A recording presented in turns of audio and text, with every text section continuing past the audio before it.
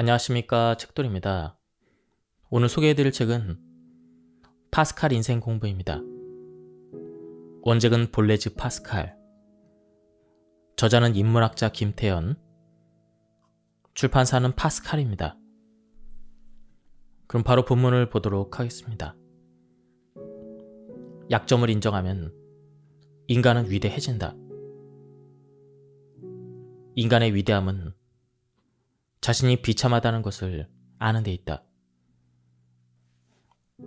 일본의 전설적인 기업가이자 파라소닉의 창업자 마스시타 고노스케는 가난함, 허약함, 교육 부족을 그가 태어날 때 받은 큰 은혜로 여겼습니다.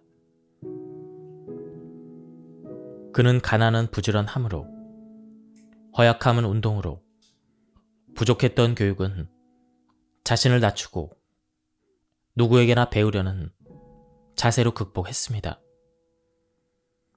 이러한 태도는 그가 자신의 비천함을 인정하고 극복하는 데 큰 도움이 되었고 결국 그의 회사를 세계적인 초일류 기업으로 성장시키는 원동력이 되었습니다. 마스시타의 삶은 자신의 약점을 인정하고 이를 통해 성장할 수 있음을 보여주는 사례입니다. 우리는 빠른 기술 발전과 물질적인 풍요로 인해 많은 편리함을 제공하지만 이와 동시에 인간 소외와 심리적 불안도 함께 증가하고 있는 사회에서 살고 있습니다. 이러한 세계 속에서 파스칼은 우리는 완벽하지 않으며 때로는 비참하고 고통스러운 상황에 직면할 수밖에 없다는 사실을 인정하는 것이 중요하다고 합니다. 파스칼은 인간의 위대함이 자신이 비참하다는 것을 아는 데 있다고 합니다. 그리고 이렇게 말합니다. 인간은 자연에서 가장 약한 갈대에 불과하지만 생각하는 갈대이다.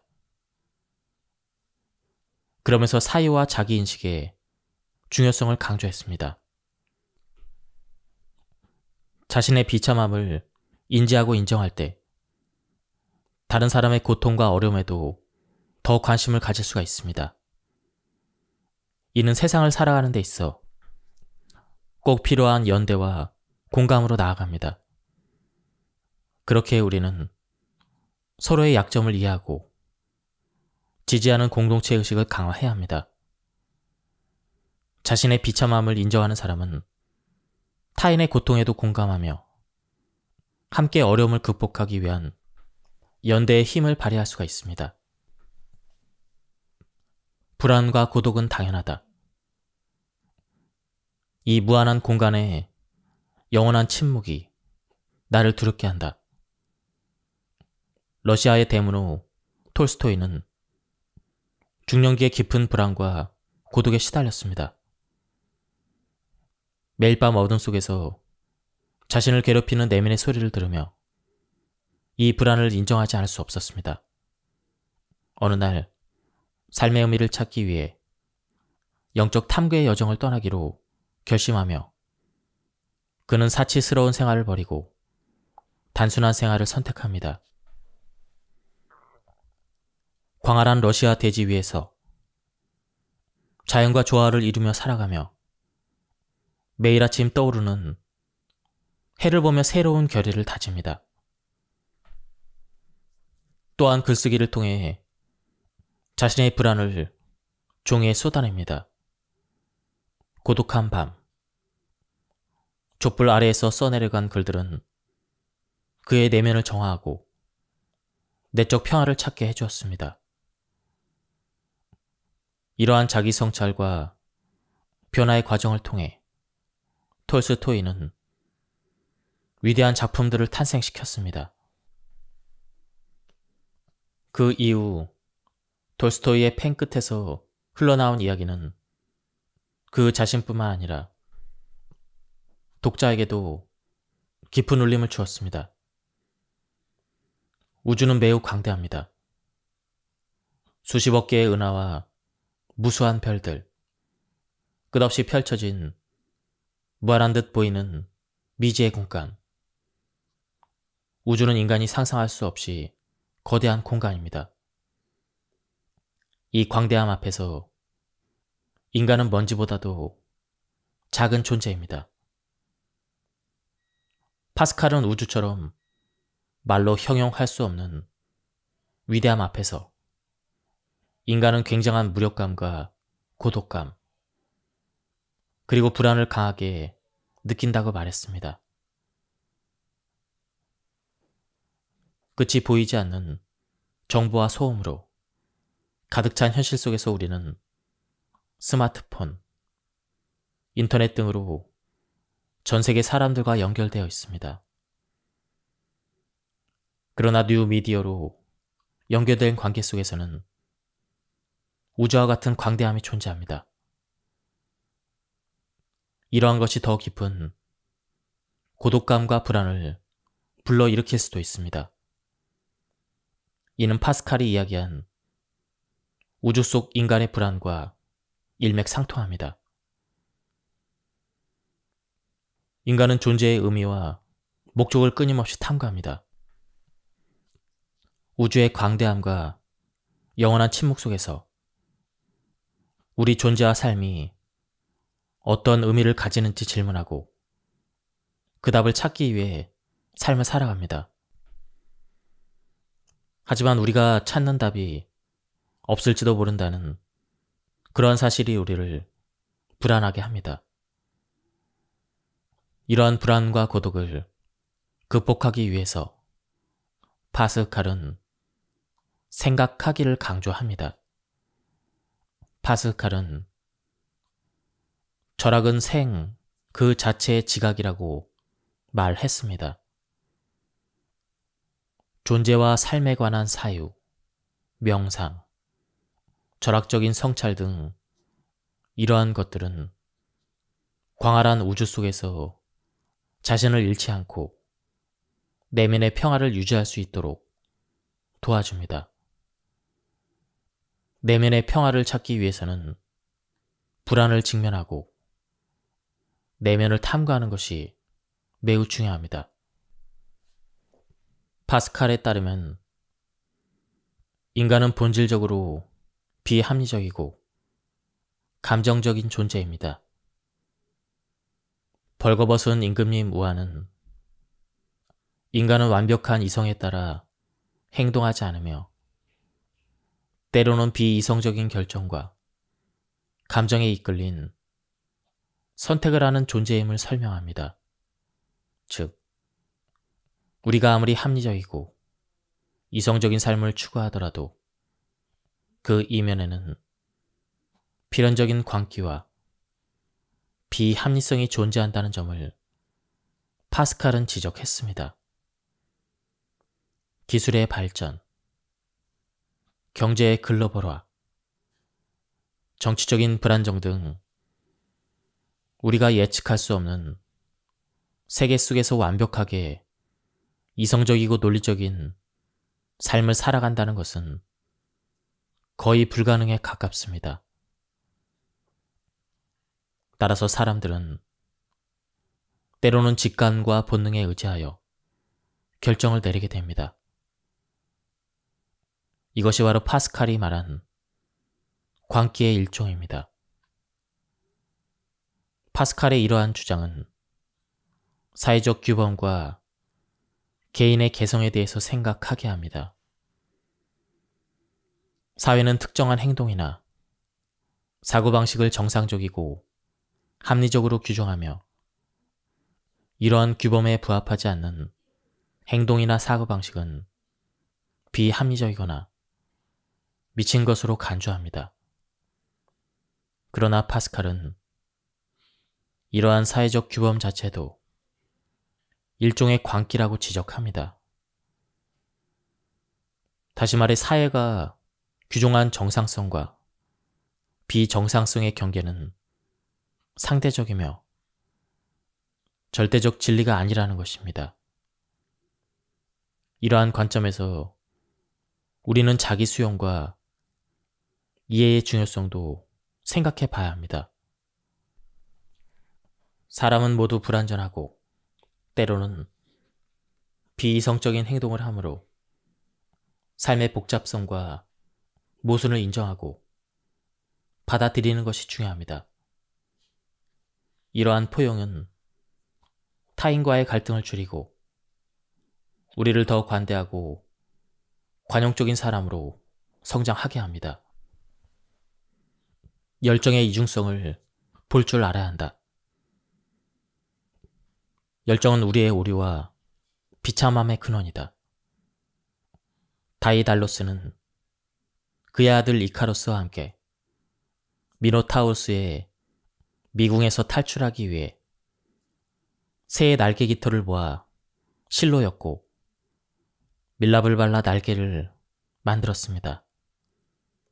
다이달로스는 이카로스에게도 날개를 달아주며 태양에 너무 가까이 가면 태양열에 의해 밀랍이 녹으니 너무 높이 날지 말고 너무 낮게 날면 바다의 습기에 날개가 무거워지니 항상 하늘과 바다의 중간 높이에서 날아야 한다고 경고를 했습니다. 그러나 날개를 단 이카로스는 자유롭게 날 수 있게 되자 아버지의 경고를 무시하고 열정적으로 날개짓을 하며 태양에 가까이 날아갔습니다. 결국 날개의 밀랍이 녹아 이카로스는 바다에 떨어져 죽고 말았습니다. 파스칼은 열정이 인간의 삶에 중요한 역할을 한다는 것을 인정하면서도 그것이 한편으로 우리 삶의 오류와 비참함을 초래할 수 있다고도 이야기합니다. 열정은 긍정적인 면과 부정적인 면을 모두 가지고 있습니다. 긍정적인 열정은 흥미와 동기부여를 제공하며 목표를 달성하고 성취를 느낄 수 있게 해줍니다. 또한 창의성과 독창성을 촉진시키며 개인과 조직의 성장과 발전에 기여할 수가 있습니다. 하지만 동시에 잘못된 열정은 나쁜 길로 빠지게 만들 수도 있으며 스트레스와 갈등의 원인이 되기도 합니다. 파스칼에 따르면 열정이라는 강력한 감정과 충동은 우리의 판단을 흐리게 하고 비합리적인 선택을 유도할 수도 있습니다. 예를 들면 열정적인 사랑에 빠졌을 때 상대방의 결정을 인식하지 못하고 나쁜 점도 좋게만 보려고 해서 나중에 후회될 수도 있습니다. 이러한 열정의 힘은 때로는 우리를 비판적인 사고와 판단에서 멀어지게 할 수도 있습니다. 또한 열정이 과하면 비참한 결과를 초래할 수도 있습니다. 열정적인 욕구가 충족되지 않거나 지나친 열정으로 자신을 제어할 수 없는 상황까지 가게 되면 불안과 고통에 휩싸일 수가 있습니다. 이는 곧 타인은 물론이고 자신을 망가뜨리는 행동으로까지 갈 수가 있습니다. 이카로스 이야기에서 알 수 있듯 과한 열정은 결국 비극적인 결말을 가져올 수가 있습니다. 이처럼 열정의 이중성을 인식하고 그것이 우리의 행동에 미치는 영향을 이해하는 것이 매우 중요합니다. 활기찬 정신이 모든 것을 가져온다. 지루한 마음은 절대 직관적이지도 수학적이지도 않다. 세계적인 기업가 일론 머스크는 테슬라와 스페이스X를 창립하며 혁신적인 기업가 정신을 발휘했습니다. 그의 활기찬 정신과 창의적인 접근은 전기차 산업과 우주 탐사의 큰 변화를 불러왔습니다. 하루하루 지루하게 살다 보면 새로운 아이디어나 해결책을 찾아내는 능력이 현저히 떨어집니다. 이러한 현상은 일상에서 반복적이고 단조로운 일에만 몰두하거나 새로운 도전과 학습을 기피할 때 발생합니다. 일상을 지루하게 보내다 보면 하루가 다르게 변화하는 세계에 적응하지 못하고 정체되거나 뒤처지게 됩니다. 바스칼은 활기찬 정신이 직관적 사고와 논리적, 수학적 사고를 발전시키는데 중요하게 작용한다고 이야기합니다.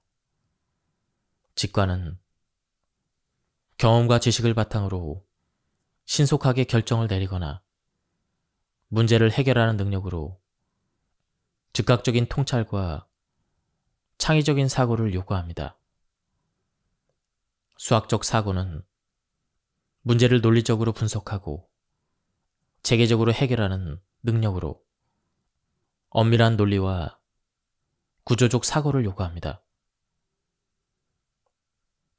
하지만 지루한 일상을 보내거나 지루한 마음가짐으로 상황을 대면하다 보면 직관적 사고와 수학적 사고에서 모두 뒤떨어집니다. 지루한 마음에서 벗어나기 위해서는 일론 머스크의 사례처럼 호기심과 열정, 그리고 지속적인 학습과 도전이 필요합니다.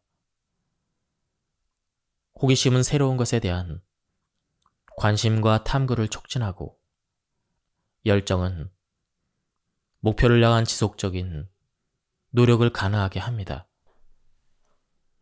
혼자 있는 시간은 나를 성장시킨다.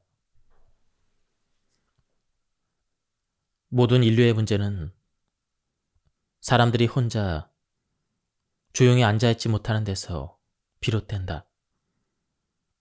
최영환의 저서 인생을 바꿀 책 명언 300을 보면 어느 분야에서건 최고의 실적을 남긴 사람들 중에는 고독을 좋아하는 사람이 많다고 합니다. 왜 인류가 된 사람들은 고독을 즐길까요? 고독해야 자신의 과제가 무엇인지 또렷이 떠오르기 때문입니다. 무리로 몰려다니면 자신의 약점을 적당히 감출 수가 있습니다. 하지만 힘 있는 사람은 무리지어 다니지 않습니다. 다만 힘 있는 사람은 무리를 거느릴 뿐입니다. 성공한 리더는 언제나 혼자 보내는 시간의 중요성을 알고 있습니다. 파스칼은 인간은 혼자 있는 시간을 통해 자기의 내면을 돌아보고 자기 성찰을 할 수 있어야 한다고 이야기합니다. 혼자 조용히 있는 시간은 생각을 정리하고 자신의 감정을 들여다보고 이해하며 깊은 통찰을 얻기 위해 꼭 필요합니다. 이러한 시간을 갖지 못하면 하루가 멀게 쏟아져 들어오는 외부 자극에 노출되어 타인에게 휘둘리고 스스로와 마주할 수 있는 기회를 잃을 수가 있습니다. 스스로 돌아보는 시간을 갖지 못하면 자기 자신을 제대로 이해하지 못하게 되고 이는 다양한 문제를 일으킬 수가 있습니다. 사람들은 관계에 많은 시간을 할애하지만 정작 자기 자신과의 관계는 소홀히 합니다. 파스칼은 혼자 있는 시간을 통해 자기 자신과 깊은 유대와 관계를 맺고 이를 통해 더욱 건강한 사회적 관계를 구축할 수 있다고 말합니다. 나 자신을 제대로 알지 못하면서 타인을 이해하고 알아간다는 것은 모순입니다. 자신을 이해하고 자신의 감정을 다스릴 수 있는 그러한 사람이 타인과의 관계에서 더 성숙하고 안정된 모습을 보일 수가 있습니다. 혼자 있는 시간을 통해 자신을 이해하고 성장을 하기 위해 노력을 해야 합니다. 첫째, 내면 소통. 명상이나 마음 챙김을 통해 자기 내면에 집중하는 시간을 가질 수가 있습니다. 이는 우리의 정신적, 정서적 건강을 증진시키는 데 도움을 줍니다. 둘째, 디지털 디톡스. 일정 시간 동안 디지털 기기와의 접촉을 줄여나갑니다. 그리고 자신만의 시간을 갖는 것도 좋은 방법입니다. 우리 주위에 산만하게 하는 요소들을 줄이고 집중력을 높이는 것이 중요합니다. 셋째, 자아 깨달음. 매일 일기를 쓰면서 자기 생각과 감정을 기록하는 것은 자기 성찰이 좋은 방법 중 하나입니다. 일기 쓰기는 자기 내면을 더 깊이 이해할 수 있게 도와줍니다. 넷째, 자연 속의 시간. 자연 속에서 혼자 시간을 보내는 것도 내면의 평화를 찾는데 도움이 됩니다. 자연은 스트레스를 줄이고 마음을 진정시키는데 효과적입니다. 작은 기쁨과 위안을 소중히 해야 한다. 작은 일들이 우리를 안심시키는 이유는 작은 일들이 우리를 불안하게 만들기 때문이다. 제임스 클리어의 저서 아주 작은 습관의 힘은 작은 습관이 어떻게 큰 변화를 불러일으킬 수 있을지 설명합니다. 제임스는 작은 행동의 반복이 큰 성과를 만들어낸다고 주장합니다. 그는 습관 형성에 네 가지 법칙을 주장하며 이러한 작은 변화를 꾸준히 실천하면 인생 전반에 걸쳐 긍정적인 영향을 미칠 수 있다는 것을 강조합니다.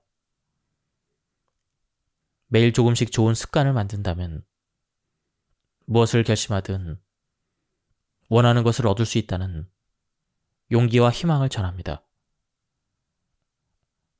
파스칼은 인간이 작은 일들에 쉽게 영향을 받는 존재임을 지적하며 일상의 작은 일들이 우리의 삶에 큰 영향을 미친다고 이야기합니다.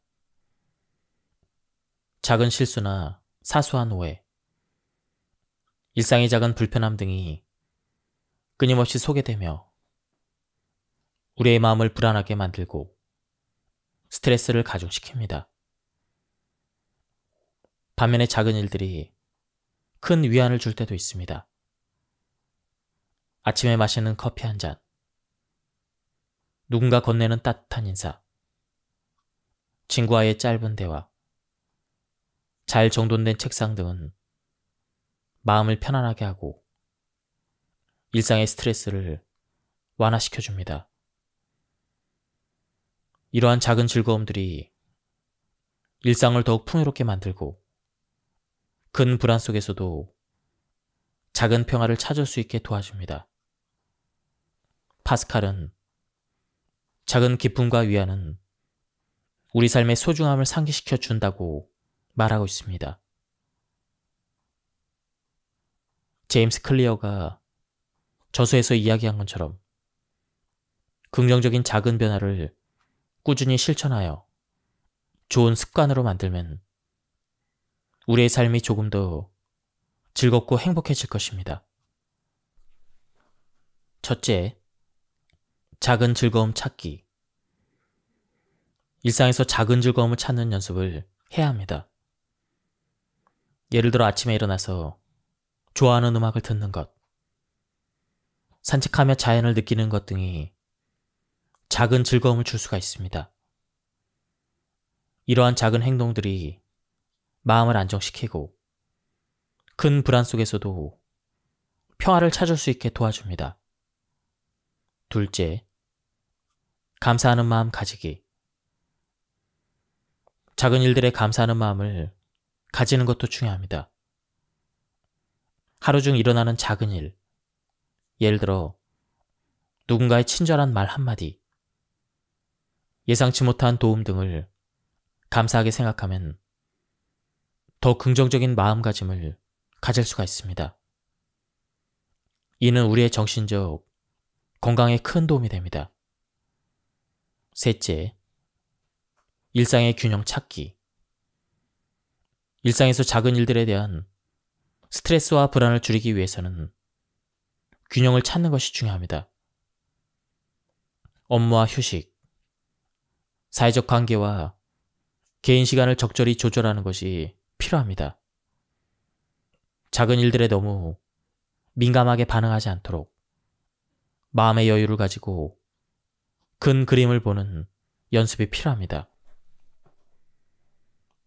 자기 초월과 사회적 목표에서 삶의 의미를 얻는다.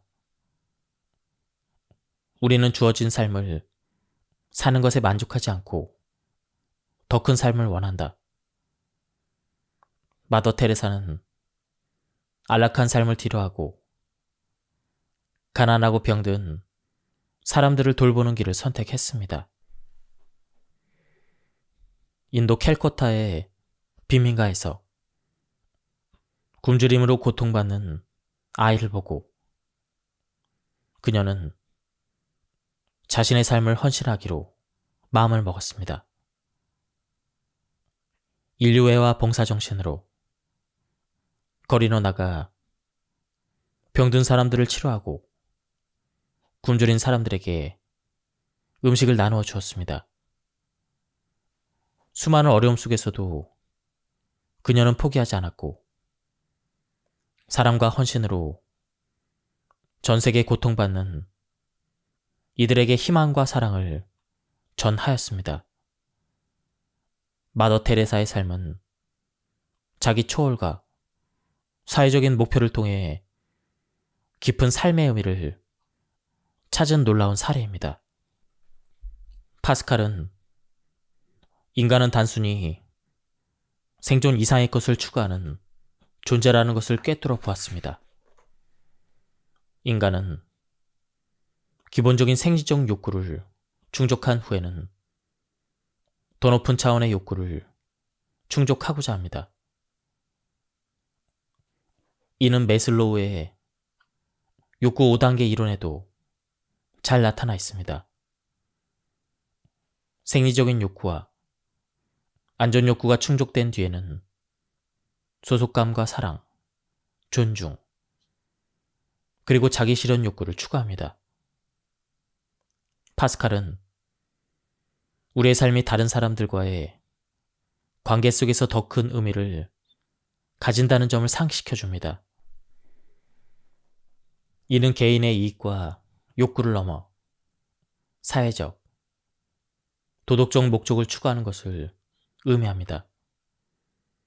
마더 테레사는 사회적으로 소외된 병자, 고아, 그리고 죽어가는 이들을 위해 모든 사랑을 담아 헌신했습니다.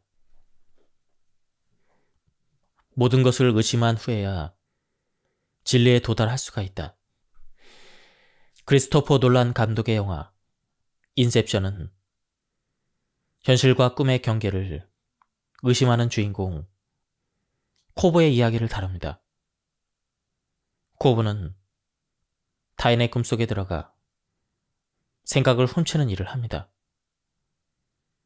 그런 그에게 꿈속에서 생각을 훔치는 것이 아니라 반대로 생각을 심는 인셉션 작전을 제안합니다. 그는 꿈속에서 임무를 수행하며 현실과 꿈을 구분하기 위해 토템을 사용합니다. 그러면서 끊임없이 현재 자신이 속한 곳이 현실인지 꿈인지를 의심합니다. 회의로는 알고 있는 것에 대해서 끊임없이 의문을 제기하고 확실한 지식의 가능성을 의심하는 철학적인 태도입니다. 회의론은 종종 부정적으로 여겨지지만 파스칼은 오히려 회의론의 진리를 추구하는 과정에서 중요한 역할을 한다고 이야기하고 있습니다. 파스칼은 회의론자가 아닌 사람들이 존재한다는 사실 그 자체가 회의론의 필요성과 타당성을 증명한다고 주장합니다. 이는 우리가 모든 것을 의심하지 않는다면 진정한 진리와 지식에 도달할 수 없다는 점을 강조합니다. 파스칼은 또한 다양한 시각으로 세상을 바라봐야 한다고 지적합니다. 만약 모든 사람이 회의론자라면 이는 단순히 회의론의 독단적인 신념으로 변질될 수도 있습니다. 모든 사람이 같은 방식으로 생각한다면 다양한 관점과 비판적인 사고의 부재를 초래할 수도 있습니다. 회의론적인 시선에서 벗어나 세상을 바라보는 사람들이 존재함으로써 우리는 다양한 시각에서 문제를 바라보고 더 넓고 깊은 이해를 추구할 수가 있습니다. 바람의 변화 속에서도 나아가라. 시간의 변덕에 따라 변하는 정의는 공정하지 않을 수가 있다. 영화 포레스트 검프는 변덕스럽고 불공정한 그러한 세상에서 긍정적으로 살아가는 포레스트 검프의 이야기를 그립니다. 지능이 낮다는 이유로 차별을 받지만 포레스트는 자신의 방식으로 삶을 받아들이고 최선을 다합니다. 그는 전쟁에서 전우를 구하고 새우잡이 사업에서 성공을 하며 사랑하는 제니와 재회와 이별을 겪습니다. 여러 예측할 수 없는 사건 속에서도 포레스트는 항상 긍정적인 자세로 살아가며 진정한 행복과 성공은 내면의 태도와 성실함에서 비롯된다는 것을 보여줍니다. 우리는 언제나 예측 불가한 삶을 살고 있습니다. 아무리 철저하게 계획하고 준비를 해도 모든 것이 계획대로 이루어지지 않는 경우가 많습니다. 열심히 노력했지만 예상치 못한 사건이나 상황으로 인해 결과가 달라지기도 합니다. 예를 들어 비슷한 실력과 열정을 가진 두 사람이 비슷한 시기에 비슷한 기회를 얻었을 때 누군가는 성공하고 누군가는 실패할 수도 있습니다. 우리의 노력뿐 아니라 운과 타이밍, 외부 요인들에 의해서 언제든 결과가 바뀔 수 있기 때문입니다. 파스칼은 이러한 상황에서도 좌절하지 말고 불확실성을 받아들이는 그러한 태도가 중요하다고 이야기하고 있습니다. 시간의 변덕에 따라 결정되는 정의는 우리가 통제할 수 없는 요소들이 많습니다. 이러한 실패와 경험을 계속 쌓다 보면 모든 상황을 자신이 통제할 수 없다는 사실을 깨닫고 겸손한 마음을 가질 수가 있습니다. 이는 다른 사람을 판단하거나 경시하는 것을 방지하고 타인의 상황과 어려움을 이해하는 데 도움이 됩니다. 또한 시간의 변동 속에서도 포레스트 검프의 포레스트처럼 계속해서 노력하고 기다리는 법을 배워야 합니다. 실패나 좌절은 일시적인 것이며 꾸준히 노력하다 보면 언젠가 기회가 올 수 있다는 믿음을 가지는 것이 중요합니다. 이는 우리의 정신적인 회복과 지속적인 성장을 도모하며 더 나아가 우리가 얻은 작은 성공이나 행복도 시간의 변덕에 따라 소중한 결과임을 깨닫게 됩니다. 이는 지금 이 순간을 소중히 하고 작은 것에 감사하는 마음을 가지는 데 도움을 줍니다.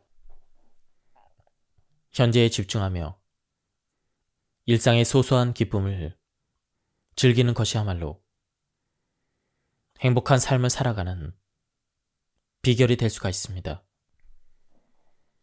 시간의 변덕은 우리의 삶에서 불가피한 요소입니다. 파스칼의 말에 따라 우리는 불확실성과 불공정성을 받아들이고 그 안에서 최선을 다하는 자세가 필요합니다. 명예의 매력을 경계해야 한다. 명예의 매력은 커서 우리는 그것이 있으면 죽음까지도 좋아한다. 아카데미 각본상을 받은 영화 시민 케인에서 케인은 젊은 시절 막대한 부와 명성을 쌓았지만 이는 그의 인생을 점점 공허하게 만듭니다. 어린 시절의 소박한 행복을 그리워하던 케인은 결국 자신의 거대한 자택에서 고독한 죽음을 맞이합니다. 이 영화는 그의 인생을 회고하며 명예와 인기가 아닌 진정한 가치와 행복을 추구하는 것이 얼마나 중요한지를 강조합니다. 케인이 마지막으로 남긴 그 말은 로즈버드입니다. 그것은 그가 어린 시절 소박한 행복을 그리워했음을 상징하며 이는 그가 진정으로 원했던 것이 단순한 명예와 부가 아니었음을 보여줍니다. 파스칼은 명예를 얻는다는 건 굉장히 매력적인 일이지만 명예와 인기의 매력에 과도하게 빠지지 않게 주의해야 될 필요가 있다고 강조합니다. 명예는 우리의 존재와 행동에 대한 인식과 평가를 나타냅니다. 우리는 보통 자신이 속한 분야에서 성공하고 싶어 하며 다른 사람에게 인정을 받고 싶어 합니다. 명예를 얻으면 많은 사람에게 오래 기억이 될 수 있으며 다른 사람들에게 존경을 받는 선망의 대상이 될 수가 있습니다. 이는 긍정적인 동기부여와 성취에 분명히 도움이 됩니다. 따라서 명예로운 일을 한다든지 자기 분야에서 명예로운 사람으로 인정을 받는다는 건 삶의 가치의 추구와 부합되는 일이라고 할 수가 있습니다. 하지만 이런 명예와 인기에도 어두운 면이 존재합니다. 가령 모든 이들의 존경을 받는 사람은 무조건 도덕적으로 행동해야 된다는 사실에 속박되거나 가끔은 타인을 위한 과도한 희생을 감수하며 명예로운 죽음이라는 명목으로 목숨을 던지는 일이 일어나기도 합니다. 커다란 위험에 빠졌을 때 다수를 위해 자신을 희생하는 것은 명예로운 일이 될 수 있지만 이것이 자살 폭탄 테러와 같은 그러한 곳으로 가면 무고한 사람들의 목숨을 빼앗아가는 용서받지 못할 범죄가 될 수도 있습니다. 명예는 분명 매력적이고 훌륭한 사람들에게 주어지는 훈장과 같은 것입니다. 하지만 대의를 위해, 선의를 위해, 진정한 가치를 추구하며 행동하면서 자연스럽게 명예를 얻는 것이 아닌 명예와 인기를 탐욕스럽게 욕망하며 무분별하게 빠져들면 우리는 진정한 가치를 잃어버리고 중요한 순간에 도덕적 선택을 저버릴 수가 있습니다. 따라서 명예를 중시하면서도 그것이 인간적인 가치와 도덕적인 선택에 부정적인 영향을 미치지 않도록 주의해야 합니다. 지금까지 이 책에 대한 리뷰를 마쳤습니다. 어, 이 책은 가독성이 굉장히 좋았습니다. 어, 저는 파스칼을 수학자로만 알고 있었는데요. 어, 이 책을 통해서 파스칼의 철학을 제대로 알 수 있었습니다.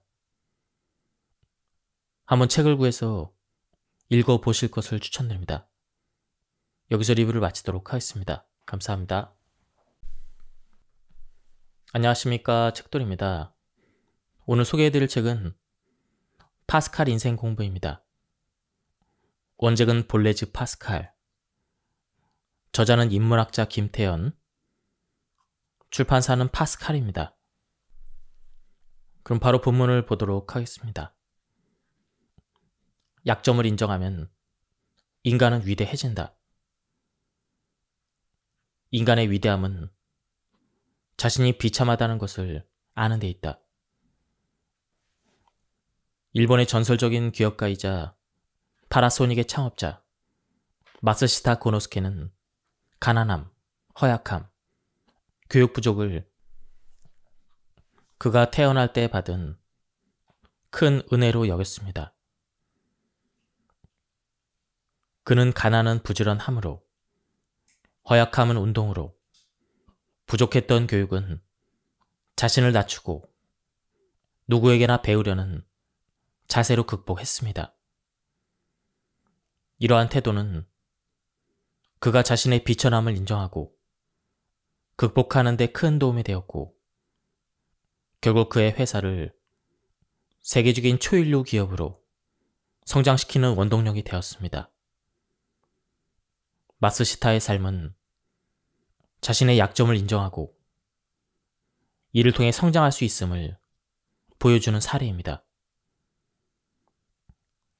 우리는 빠른 기술 발전과 물질적인 풍요로 인해 많은 편리함을 제공하지만 이와 동시에 인간 소외와 심리적 불안도 함께 증가하고 있는 사회에서 살고 있습니다. 이러한 세계 속에서 파스칼은 우리는 완벽하지 않으며 때로는 비참하고 고통스러운 상황에 직면할 수밖에 없다는 사실을 인정하는 것이 중요하다고 합니다. 파스칼은 인간의 위대함이 자신이 비참하다는 것을 아는 데 있다고 합니다. 그리고 이렇게 말합니다. 인간은 자연에서 가장 약한 갈대에 불과하지만 생각하는 갈대이다. 그러면서 사유와 자기인식의 중요성을 강조했습니다. 자신의 비참함을 인지하고 인정할 때 다른 사람의 고통과 어려움에도 더 관심을 가질 수가 있습니다. 이는 세상을 살아가는 데 있어 꼭 필요한 연대와 공감으로 나아갑니다. 그렇게 우리는 서로의 약점을 이해하고 지지하는 공동체 의식을 강화해야 합니다. 자신의 비참함을 인정하는 사람은 타인의 고통에도 공감하며 함께 어려움을 극복하기 위한 연대의 힘을 발휘할 수가 있습니다. 불안과 고독은 당연하다. 이 무한한 공간에 영원한 침묵이 나를 두렵게 한다. 러시아의 대문호 톨스토이는 중년기의 깊은 불안과 고독에 시달렸습니다. 매일 밤 어둠 속에서 자신을 괴롭히는 내면의 소리를 들으며 이 불안을 인정하지 않을 수 없었습니다. 어느 날 삶의 의미를 찾기 위해 영적 탐구의 여정을 떠나기로 결심하며 그는 사치스러운 생활을 버리고 단순한 생활을 선택합니다. 광활한 러시아 대지 위에서 자연과 조화를 이루며 살아가며 매일 아침 떠오르는 해를 보며 새로운 결의를 다집니다.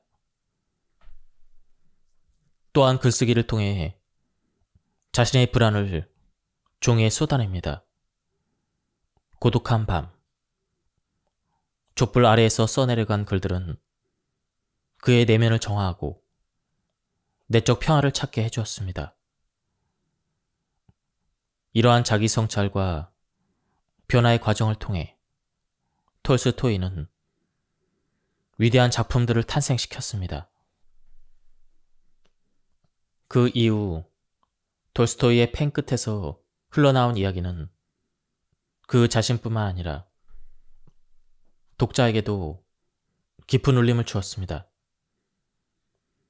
우주는 매우 광대합니다. 수십억 개의 은하와 무수한 별들, 끝없이 펼쳐진 무한한 듯 보이는 미지의 공간. 우주는 인간이 상상할 수 없이 거대한 공간입니다.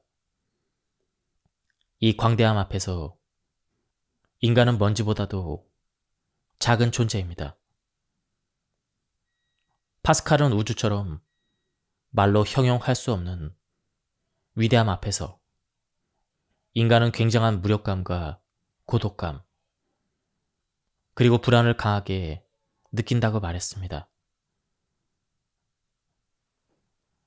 끝이 보이지 않는 정보와 소음으로 가득 찬 현실 속에서 우리는 스마트폰, 인터넷 등으로 전 세계 사람들과 연결되어 있습니다. 그러나 뉴 미디어로 연결된 관계 속에서는 우주와 같은 광대함이 존재합니다. 이러한 것이 더 깊은 고독감과 불안을 불러일으킬 수도 있습니다. 이는 파스칼이 이야기한 우주 속 인간의 불안과 일맥상통합니다. 인간은 존재의 의미와 목적을 끊임없이 탐구합니다. 우주의 광대함과 영원한 침묵 속에서 우리 존재와 삶이 어떤 의미를 가지는지 질문하고 그 답을 찾기 위해 삶을 살아갑니다. 하지만 우리가 찾는 답이 없을지도 모른다는 그런 사실이 우리를 불안하게 합니다. 이러한 불안과 고독을 극복하기 위해서 파스칼은 생각하기를 강조합니다. 파스칼은 철학은 생 그 자체의 지각이라고 말했습니다. 존재와 삶에 관한 사유, 명상, 철학적인 성찰 등 이러한 것들은 광활한 우주 속에서 자신을 잃지 않고 내면의 평화를 유지할 수 있도록 도와줍니다. 내면의 평화를 찾기 위해서는 불안을 직면하고 내면을 탐구하는 것이 매우 중요합니다. 파스칼에 따르면 인간은 본질적으로 비합리적이고 감정적인 존재입니다. 벌거벗은 임금님 우아는 인간은 완벽한 이성에 따라 행동하지 않으며 때로는 비이성적인 결정과 감정에 이끌린 선택을 하는 존재임을 설명합니다. 즉, 우리가 아무리 합리적이고 이성적인 삶을 추구하더라도 그 이면에는 필연적인 광기와 비합리성이 존재한다는 점을 파스칼은 지적했습니다. 기술의 발전, 경제의 글로벌화, 정치적인 불안정 등 우리가 예측할 수 없는 세계 속에서 완벽하게 이성적이고 논리적인 삶을 살아간다는 것은 거의 불가능에 가깝습니다. 따라서 사람들은 때로는 직관과 본능에 의지하여 결정을 내리게 됩니다. 이것이 바로 파스칼이 말한 광기의 일종입니다. 파스칼의 이러한 주장은 사회적 규범과 개인의 개성에 대해서 생각하게 합니다. 사회는 특정한 행동이나 사고방식을 정상적이고 합리적으로 규정하며 이러한 규범에 부합하지 않는 행동이나 사고방식은 비합리적이거나 미친 것으로 간주합니다. 그러나 파스칼은 이러한 사회적 규범 자체도 일종의 광기라고 지적합니다. 다시 말해 사회가 규정한 정상성과 비정상성의 경계는 상대적이며 절대적 진리가 아니라는 것입니다. 이러한 관점에서 우리는 자기 수용과 이해의 중요성도 생각해 봐야 합니다. 사람은 모두 불완전하고 때로는 비이성적인 행동을 하므로 삶의 복잡성과 모순을 인정하고 받아들이는 것이 중요합니다. 이러한 포용은 타인과의 갈등을 줄이고 우리를 더 관대하고 관용적인 사람으로 성장하게 합니다. 열정의 이중성을 볼 줄 알아야 한다. 열정은 우리의 오류와 비참함의 근원이다. 다이달로스는 그의 아들 이카로스와 함께 미노타우스의 미궁에서 탈출하기 위해 새의 날개 깃털을 모아 실로 였고 밀랍을 발라 날개를 만들었습니다. 다이달로스는 이카로스에게도 날개를 달아주며 태양에 너무 가까이 가면 태양열에 의해 밀랍이 녹으니 너무 높이 날지 말고 너무 낮게 날면 바다의 습기에 날개가 무거워지니 항상 하늘과 바다의 중간 높이에서 날아야 한다고 경고를 했습니다. 그러나 날개를 단 이카로스는 자유롭게 날 수 있게 되자 아버지의 경고를 무시하고 열정적으로 날개짓을 하며 태양에 가까이 날아갔습니다. 결국 날개의 밀랍이 녹아 이카로스는 바다에 떨어져 죽고 말았습니다. 파스칼은 열정이 인간의 삶에 중요한 역할을 한다는 것을 인정하면서도 그것이 한편으로 우리 삶의 오류와 비참함을 초래할 수 있다고도 이야기합니다.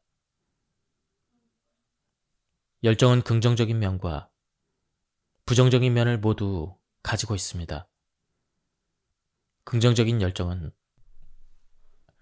흥미와 동기부여를 제공하며 목표를 달성하고 성취를 느낄 수 있게 해줍니다. 또한 창의성과 독창성을 촉진시키며 개인과 조직의 성장과 발전에 기여할 수가 있습니다. 하지만 동시에 잘못된 열정은 나쁜 길로 빠지게 만들 수도 있으며 스트레스와 갈등의 원인이 되기도 합니다. 파스칼에 따르면 열정이라는 강력한 감정과 충동은 우리의 판단을 흐리게 하고 비합리적인 선택을 유도할 수도 있습니다. 예를 들면 열정적인 사랑에 빠졌을 때 상대방의 결점을 인식하지 못하고 나쁜 점도 좋게만 보려고 해서 나중에 후회될 수도 있습니다. 이러한 열정의 힘은 때로는 우리를 비판적인 사고와 판단에서 멀어지게 할 수도 있습니다. 또한 열정이 과하면 비참한 결과를 초래할 수도 있습니다. 열정적인 욕구가 충족되지 않거나 지나친 열정으로 자신을 제어할 수 없는 상황까지 가게 되면 불안과 고통에 휩싸일 수가 있습니다. 이는 곧 타인은 물론이고 자신을 망가뜨리는 행동으로까지 갈 수가 있습니다. 이카로스 이야기에서 알 수 있듯 과한 열정은 결국 비극적인 결말을 가져올 수가 있습니다.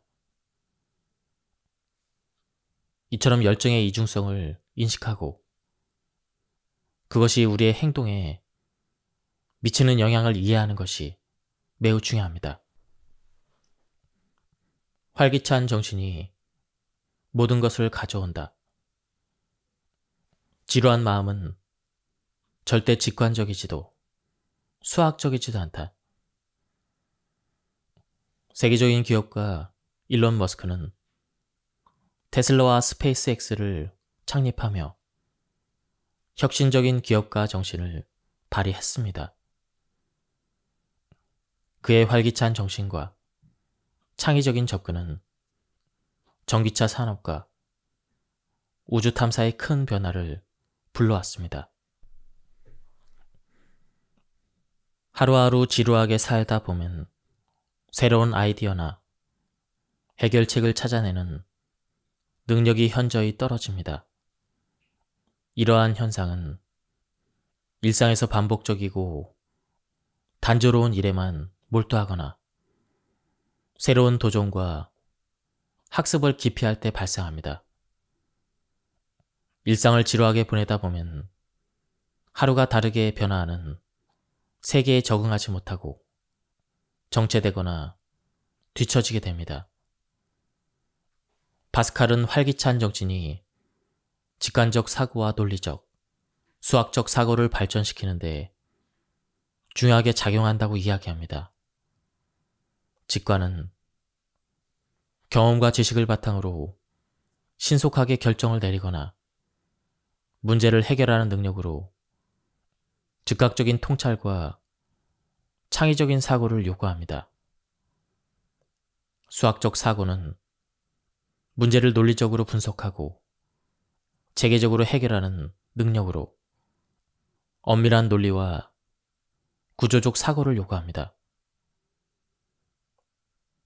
하지만 지루한 일상을 보내거나 지루한 마음가짐으로 상황을 대면하다 보면 직관적 사고와 수학적 사고에서 모두 뒤떨어집니다. 지루한 마음에서 벗어나기 위해서는 일론 머스크의 사례처럼 호기심과 열정, 그리고 지속적인 학습과 도전이 필요합니다. 호기심은 새로운 것에 대한 관심과 탐구를 촉진하고 열정은 목표를 향한 지속적인 노력을 가능하게 합니다. 혼자 있는 시간은 나를 성장시킨다. 모든 인류의 문제는 사람들이 혼자 조용히 앉아있지 못하는 데서 비롯된다. 최영환의 저서 인생을 바꿀 책 명언 300을 보면 어느 분야에서건 최고의 실적을 남긴 사람들 중에는 고독을 좋아하는 사람이 많다고 합니다. 왜 인류가 된 사람들은 고독을 즐길까요? 고독해야 자신의 과제가 무엇인지 또렷이 떠오르기 때문입니다. 무리로 몰려다니면 자신의 약점을 적당히 감출 수가 있습니다.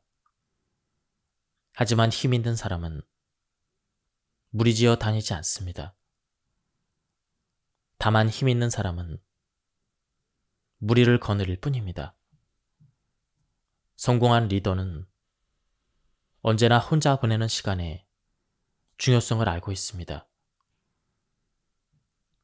파스칼은 인간은 혼자 있는 시간을 통해 자기의 내면을 돌아보고 자기 성찰을 할 수 있어야 한다고 이야기합니다. 혼자 조용히 있는 시간은 생각을 정리하고 자신의 감정을 들여다보고 이해하며 깊은 통찰을 얻기 위해 꼭 필요합니다. 이러한 시간을 갖지 못하면 하루가 멀게 쏟아져 들어오는 외부 자극에 노출되어 타인에게 휘둘리고 스스로와 마주할 수 있는 기회를 잃을 수가 있습니다. 스스로 돌아보는 시간을 갖지 못하면 자기 자신을 제대로 이해하지 못하게 되고 이는 다양한 문제를 일으킬 수가 있습니다. 사람들은 관계에 많은 시간을 할애하지만 정작 자기 자신과의 관계는 소홀히 합니다. 파스칼은 혼자 있는 시간을 통해 자기 자신과 깊은 유대와 관계를 맺고 이를 통해 더 건강한 사회적 관계를 구축할 수 있다고 말합니다. 나 자신을 제대로 알지 못하면서 타인을 이해하고 알아간다는 것은 모순입니다. 자신을 이해하고 자신의 감정을 다스릴 수 있는 그러한 사람이 타인과의 관계에서 더 성숙하고 안정된 모습을 보일 수가 있습니다. 혼자 있는 시간을 통해 자신을 이해하고 성장을 하기 위해 노력을 해야 합니다. 첫째, 내면 소통. 명상이나 마음 챙김을 통해 자기 내면에 집중하는 시간을 가질 수가 있습니다. 이는 우리의 정신적, 정서적 건강을 증진시키는 데 도움을 줍니다. 둘째, 디지털 디톡스. 일정 시간 동안 디지털 기기와의 접촉을 줄여나갑니다. 그리고 자신만의 시간을 갖는 것도 좋은 방법입니다. 우리 주위에 산만하게 하는 요소들을 줄이고 집중력을 높이는 것이 중요합니다. 셋째, 자아 깨달음. 매일 일기를 쓰면서 자기 생각과 감정을 기록하는 것은 자기 성찰이 좋은 방법 중 하나입니다. 일기 쓰기는 자기 내면을 더 깊이 이해할 수 있게 도와줍니다. 넷째, 자연 속의 시간. 자연 속에서 혼자 시간을 보내는 것도 내면의 평화를 찾는데 도움이 됩니다. 자연은 스트레스를 줄이고 마음을 진정시키는데 효과적입니다. 작은 기쁨과 위안을 소중히 해야 한다.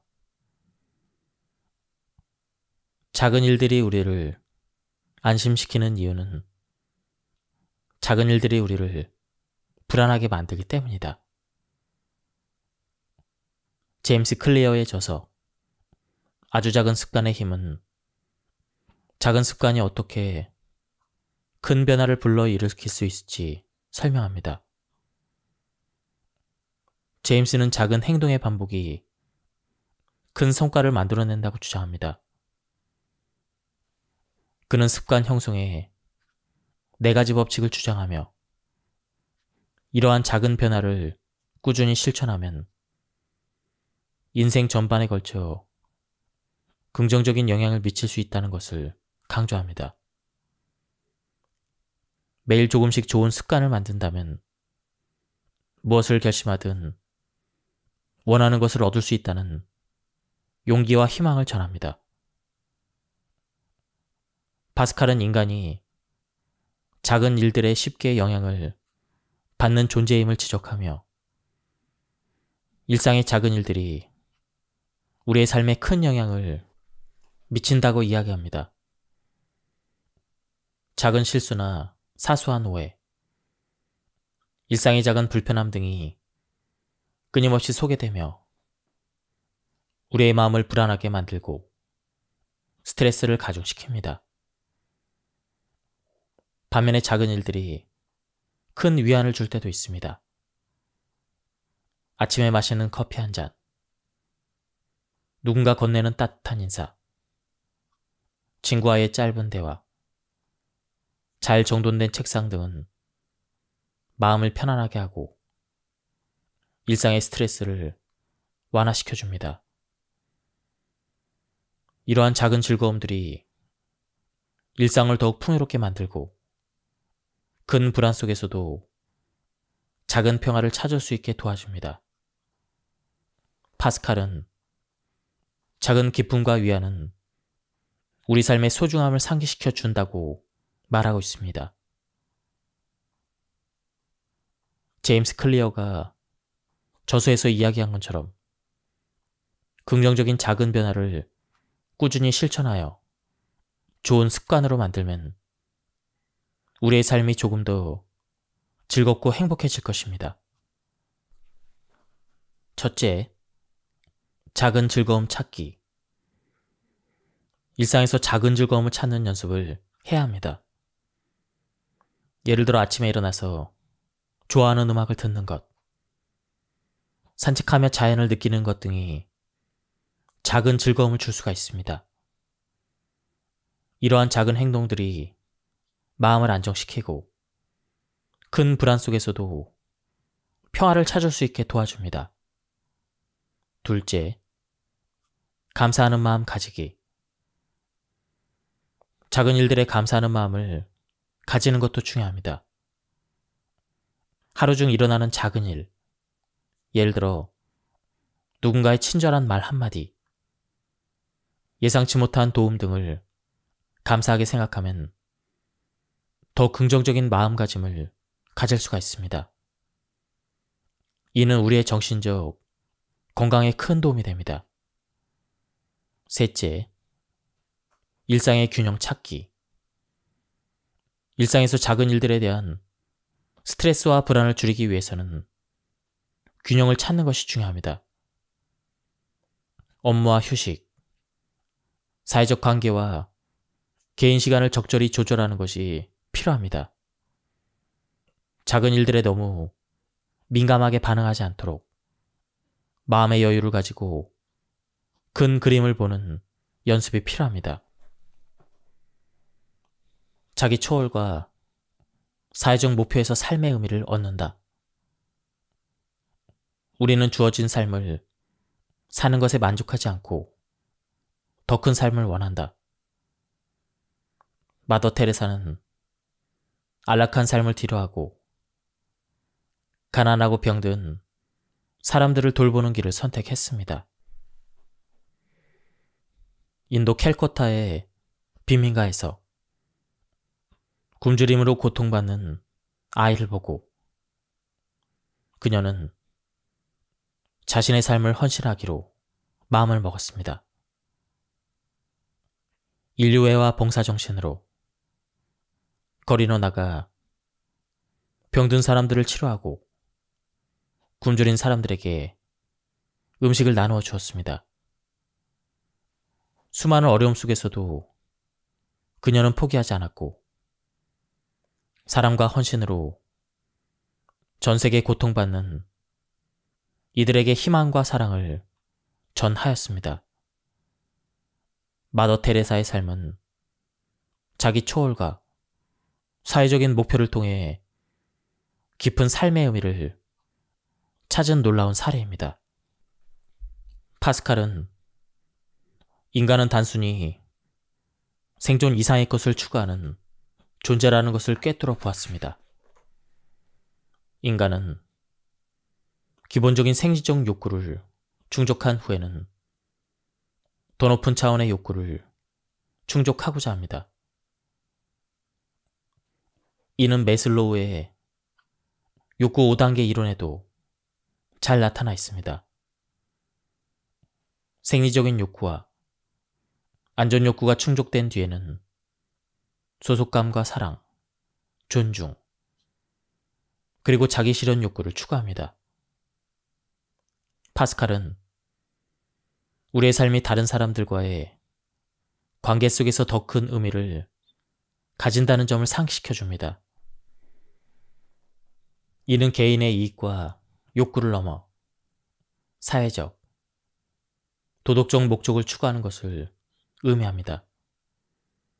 마더 테레사는 사회적으로 소외된 병자, 고아, 그리고 죽어가는 이들을 위해 모든 사랑을 담아 헌신했습니다. 모든 것을 의심한 후에야 진리에 도달할 수가 있다. 크리스토퍼 놀란 감독의 영화 인셉션은 현실과 꿈의 경계를 의심하는 주인공 코브의 이야기를 다룹니다. 코브는 타인의 꿈속에 들어가 생각을 훔치는 일을 합니다. 그런 그에게 꿈속에서 생각을 훔치는 것이 아니라 반대로 생각을 심는 인셉션 작전을 제안합니다. 그는 꿈속에서 임무를 수행하며 현실과 꿈을 구분하기 위해 토템을 사용합니다. 그러면서 끊임없이 현재 자신이 속한 곳이 현실인지 꿈인지를 의심합니다. 회의로는 알고 있는 것에 대해서 끊임없이 의문을 제기하고 확실한 지식의 가능성을 의심하는 철학적인 태도입니다. 회의로는 종종 부정적으로 여겨지지만 파스칼은 오히려 회의론의 진리를 추구하는 과정에서 중요한 역할을 한다고 이야기하고 있습니다. 파스칼은 회의론자가 아닌 사람들이 존재한다는 사실 그 자체가 회의론의 필요성과 타당성을 증명한다고 주장합니다. 이는 우리가 모든 것을 의심하지 않는다면 진정한 진리와 지식에 도달할 수 없다는 점을 강조합니다. 바수칼은 또한 다양한 시각으로 세상을 바라봐야 한다고 지적합니다. 만약 모든 사람이 회의론자라면 이는 단순히 회의론의 독단적인 신념으로 변질될 수도 있습니다. 모든 사람이 같은 방식으로 생각한다면 다양한 관점과 비판적인 사고의 부재를 초래할 수도 있습니다. 회의론적인 시선에서 벗어나 세상을 바라보는 사람들이 존재함으로써 우리는 다양한 시각에서 문제를 바라보고 더 넓고 깊은 이해를 추구할 수가 있습니다. 바람의 변화 속에서도 나아가라. 시간의 변덕에 따라 변하는 정의는 공정하지 않을 수가 있다. 영화 포레스트 검프는 변덕스럽고 불공정한 그러한 세상에서 긍정적으로 살아가는 포레스트 검프의 이야기를 그립니다. 지능이 낮다는 이유로 차별을 받지만 포레스트는 자신의 방식으로 삶을 받아들이고 최선을 다합니다. 그는 전쟁에서 전우를 구하고 새우잡이 사업에서 성공을 하며 사랑하는 제니와 재회와 이별을 겪습니다. 여러 예측할 수 없는 사건 속에서도 포레스트는 항상 긍정적인 자세로 살아가며 진정한 행복과 성공은 내면의 태도와 성실함에서 비롯된다는 것을 보여줍니다. 우리는 언제나 예측 불가한 삶을 살고 있습니다. 아무리 철저하게 계획하고 준비를 해도 모든 것이 계획대로 이루어지지 않는 경우가 많습니다. 열심히 노력했지만 예상치 못한 사건이나 상황으로 인해 결과가 달라지기도 합니다. 예를 들어 비슷한 실력과 열정을 가진 두 사람이 비슷한 시기에 비슷한 기회를 얻었을 때 누군가는 성공하고 누군가는 실패할 수도 있습니다. 우리의 노력뿐 아니라 운과 타이밍, 외부 요인들에 의해서 언제든 결과가 바뀔 수 있기 때문입니다. 파스칼은 이러한 상황에서도 좌절하지 말고 불확실성을 받아들이는 그러한 태도가 중요하다고 이야기하고 있습니다. 시간의 변덕에 따라 결정되는 정의는 우리가 통제할 수 없는 요소들이 많습니다. 이러한 실패와 경험을 계속 쌓다 보면 모든 상황을 자신이 통제할 수 없다는 사실을 깨닫고 겸손한 마음을 가질 수가 있습니다. 이는 다른 사람을 판단하거나 경시하는 것을 방지하고 타인의 상황과 어려움을 이해하는 데 도움이 됩니다. 또한 시간의 변동 속에서도 포레스트 검프의 포레스트처럼 계속해서 노력하고 기다리는 법을 배워야 합니다. 실패나 좌절은 일시적인 것이며 꾸준히 노력하다 보면 언젠가 기회가 올 수 있다는 믿음을 가지는 것이 중요합니다. 이는 우리의 정신적인 회복과 지속적인 성장을 도모하며 더 나아가 우리가 얻은 작은 성공이나 행복도 시간의 변덕에 따라 소중한 결과임을 깨닫게 됩니다. 이는 지금 이 순간을 소중히 하고 작은 것에 감사하는 마음을 가지는 데 도움을 줍니다. 현재에 집중하며 일상의 소소한 기쁨을 즐기는 것이야말로 행복한 삶을 살아가는 비결이 될 수가 있습니다. 시간의 변덕은 우리의 삶에서 불가피한 요소입니다. 파스칼의 말에 따라 우리는 불확실성과 불공정성을 받아들이고 그 안에서 최선을 다하는 자세가 필요합니다. 명예의 매력을 경계해야 한다. 명예의 매력은 커서 우리는 그것이 있으면 죽음까지도 좋아한다. 아카데미 각본상을 받은 영화 시민 케인에서 케인은 젊은 시절 막대한 부와 명성을 쌓았지만 이는 그의 인생을 점점 공허하게 만듭니다. 어린 시절의 소박한 행복을 그리워하던 케인은 결국 자신의 거대한 자택에서 고독한 죽음을 맞이합니다. 이 영화는 그의 인생을 회고하며 명예와 인기가 아닌 진정한 가치와 행복을 추구하는 것이 얼마나 중요한지를 강조합니다. 케인이 마지막으로 남긴 그 말은 로즈버드입니다. 그것은 그가 어린 시절 소박한 행복을 그리워했음을 상징하며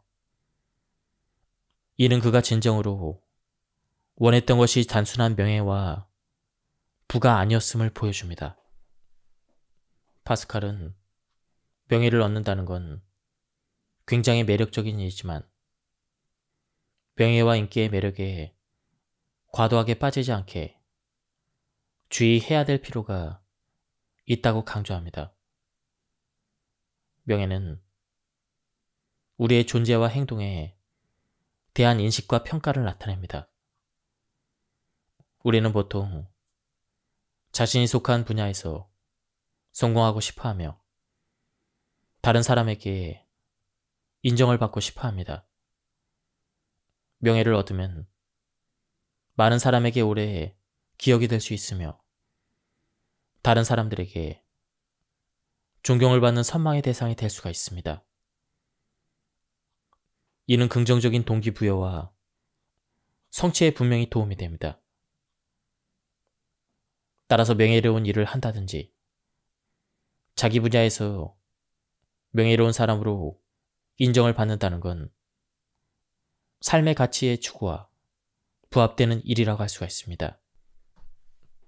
하지만 이런 명예와 인기에도 어두운 면이 존재합니다.